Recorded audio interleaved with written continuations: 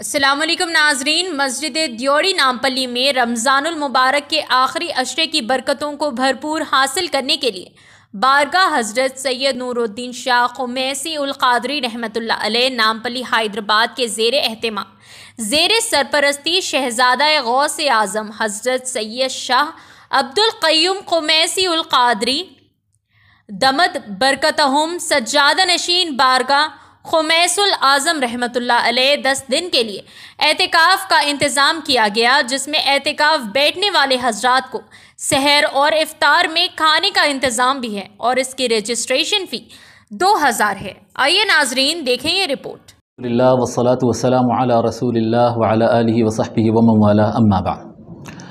ये अजीम शान खुशखबरी है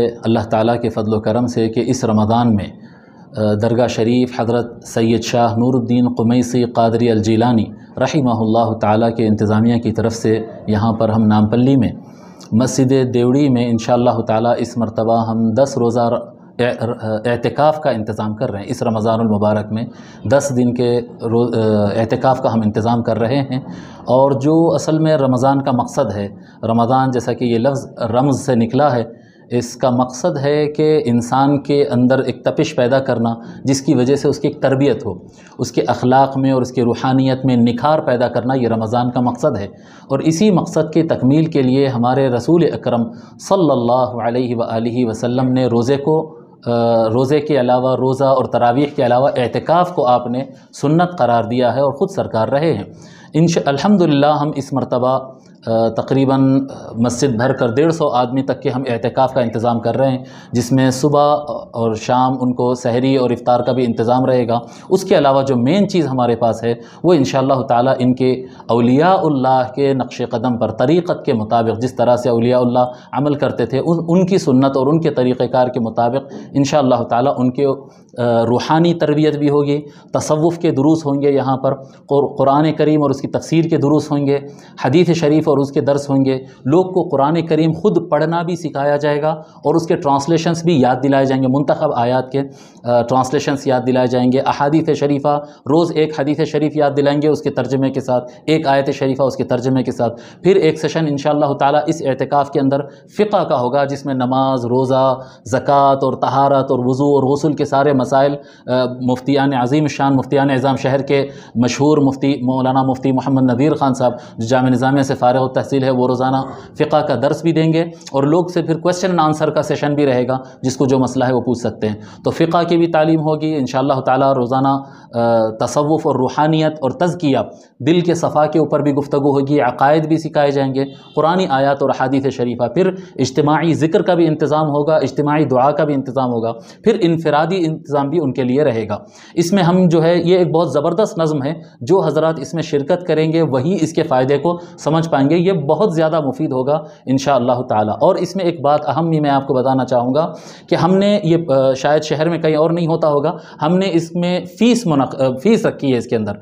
एहतिकाफ़, हल आके हमारे को अलहमदिल्ला यानी इंतज़ामिया के पास इतनी गुंजाइश है कि ये सारा फ्री इंतज़ाम हो सकता है। लेकिन हमारा मकसद इसमें यही है कि वही अफराद आए जो बिल्कुल संजीदा हो। टाइम पास के लिए अफराद ना हो जो अफराद फ़ीस देकर आएँगे तो वो संजीदा रहेंगे, सीरियस रहेंगे इल्म हासिल करने, सीखने के लिए। तो एक तो संजीदा अफराद आएँगे और दूसरा इंतज़ामिया की तरफ़ से ये भी आप ऐलान सुन लीजिए, हमारे सज्जादा नशीन बारगाह हज़रत सैयद शाह नूरुद्दीन क़ुमैसी रहमत के जो सज्जाद साहब है, जिनका नाम है हज़रत सैयद शाह फराज मोहुद्दीन कादरी अलकुमैसी साहब दामद बरक़ातुम, उन्होंने ऐलान किया कि इस एहतिकाफ़ से आने वाली जितनी फ़ीस रहेगी, जो दो हज़ार रुपये पर हेड हमने फ़ीस मुकर की है, ये फ़ीस देने, मुकम्मल फ़ीस जो है इन ये यतीमों की तालीम और तरबियत के ऊपर ख़र्च किया जाएगा। ये पैसा मस्जिद के लिए या दरगाह के लिए या किसी चीज़ और चीज़ के लिए नहीं लिया जाएगा। मोतकफिन का सारा पैसा इन यतीमों पर ख़र्च किया जा, किया जाएगा। मैं जो है मैं एक बात यानी यकीन से मैं कह सकता हूँ कि ये पूरे शहर का इनफरादी एहतिकाफ़ होगा।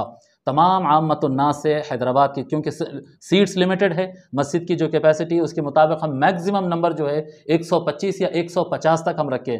150 मेंबर से ज़्यादा की इसमें गुंजाइश नहीं रहेगी। जो हज़रत पहले आकर रजिस्ट्रेशन कर लेंगे, उनके लिए इंतज़ाम रहेगा और भरपूर बेहतरीन इंतज़ाम रहेगा। ज़ाहरी एतबार से भी इन ताली और रूहानी तरबियत और तजकिए के अतबार से भी ये मायनाज काम होगा इन ताला। बस यही आप हजरात से अपील है और पैगाम है। सर ये आप दोबारा यहाँ का एड्रेस बता सकते हैं? हाँ ये ये मकाम है ये मकाम है मस्जिद देवड़ी मस्जिद देवड़ी नामपल्ली अपोजिट ख़त्ता सालिहीन।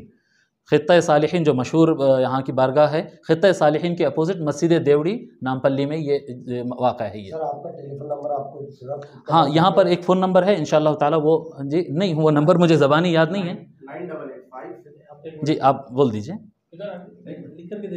Nine double eight five one eight double six three two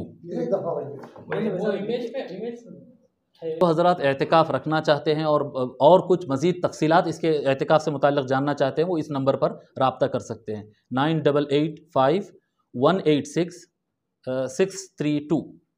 ठीक है? ये, जी, एक बार और।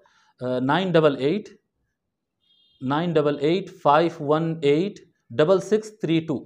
ये नंबर पर आप हजरात जो- भी हजरात रबता करना चाहे रबता कर करके रजिस्ट्रेशन और उससे मुतल एहतिकाफ़ से मुतक सारी तफसीत हासिल कर सकते हैं।